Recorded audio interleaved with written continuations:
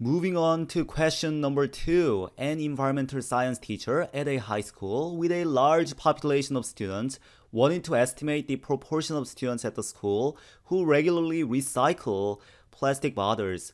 The teacher selected a random sample of students at the school to survey.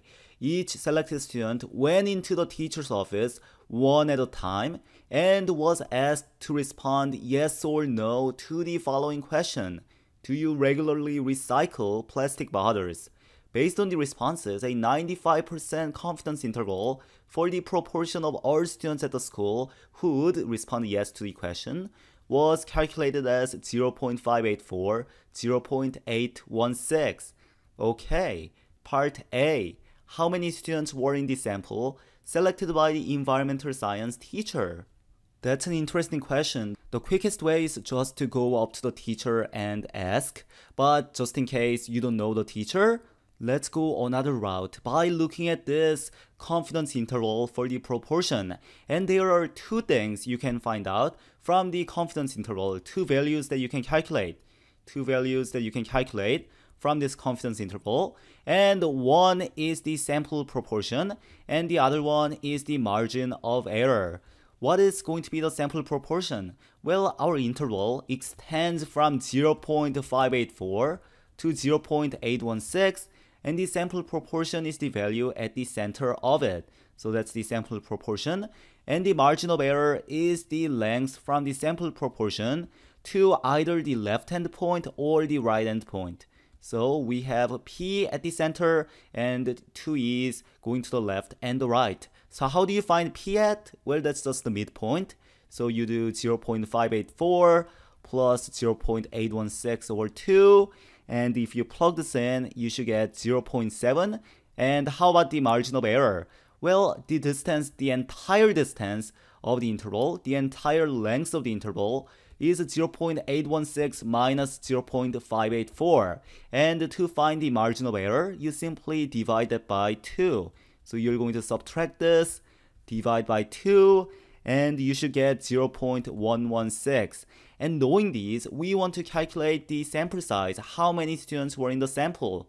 So how can we relate the sample size, the sample proportion, and the margin of error? Well, you know the equation for the margin of error. That's z sub alpha over 2 times square root of p hat, q hat, all divided by n we know E, we know margin of error, we know P hat, and from that we know Q hat. And do we know Z sub alpha over 2? Yes, we do, because it's 95% confidence interval. So we know Z sub alpha over 2, if you have this memorized, is 1.96. And if you do not have this memorized, that's okay. You can still find it because you have 95% confidence interval if you draw the normal distribution, you know the area at the center is 0.95. That's telling you the area at the either end, so this end and this end, should be 0.05 combined. So area of one of them should be 0.025. You can either look this value up to find the z-score of this point, or you can use your TI-84 or 83 TI-84 or 83, you can simply go into inverse norm, inverse normal distribution to find this z-score. You plug in the area of 0.025, mean of 0, and the standard deviation of 1, and you should get negative 1.96. So you know this is negative 1.96, so you know z sub alpha over 2 is 1.96. So we also know z sub alpha over 2, we know p hat, we know q hat, we know e, and we want to find n, and this can easily be done. First, let's divide both sides by z sub alpha over 2. So we have e over z sub alpha over 2 is a square root of p hat q hat over n. Squaring both sides, we get we get squaring both sides, we should get e over z sub alpha over 2 squared is p hat q hat over n, square root goes away. And to find n, we can take the reciprocal of both sides. When you take reciprocal of both sides, we get z sub alpha over 2 over e squared is n over p hat q hat.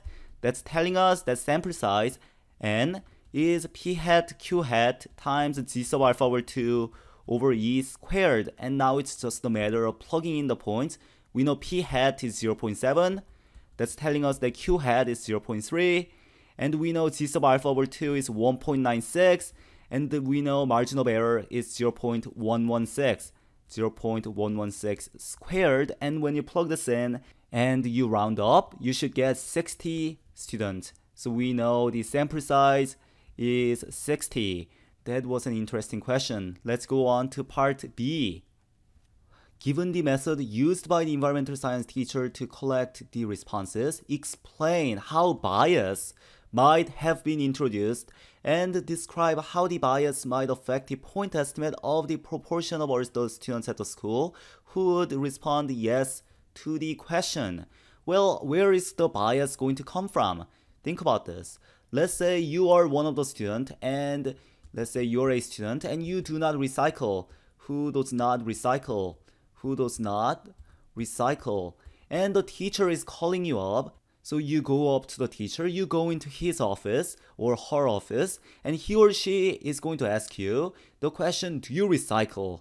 And you will be like, Well, I don't, but I really don't want to admit that because then the teacher is going to think I'm not a responsible student, possibly. So maybe you're going to lie. Maybe you're going to say, just to make yourself look better, you're going to say, oh yeah, I, re- I recycle, and just exit. So there may be students who do something very similar to that because you're talking to teacher face to face. It's not anonymous. So there is a likely chance that you're going to have response bias. You're going to have response bias which is when you're biased towards a certain response because you want to give an answer that's more acceptable or more favorable. So let's write it down. Some students, some students that do not recycle, that do not recycle, may choose to untruthfully, choose to untruthfully respond when questioned face to face by the teacher, when questioned face to face by the teacher, by the teacher, because because they do not they do not want to want to be perceived perceived as maybe lacking maybe lacking i'm not sure what the word to use lacking an environmentally friendly habit and environmentally mentally friendly habit of recycling. So that's the answer to part B.